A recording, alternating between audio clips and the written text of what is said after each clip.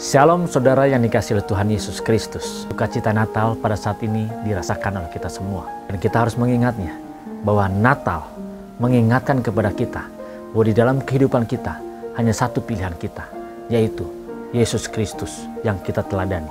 Di dalam sukacita Natal ini mengingatkan kepada kita bahwa hanya satu pilihan kita di dalam kehidupan ini, hanya meneladani pribadi Yesus dalam kehidupan kita supaya kita menjadi serupa seperti Yesus Kristus.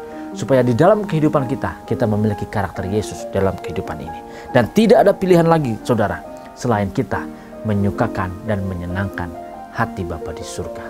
Natal membawa pesan kepada kita, bagaimana kita tidak punya pilihan selain kita untuk dapat masuk di langit yang baru dan bumi yang baru, yaitu memilih Yesus menjadi serupa seperti dia dan menyukakan hati Bapa di surga. Selamat Hari Raya Natal. Tuhan Yesus Kristus memberkati. Salam transformasi.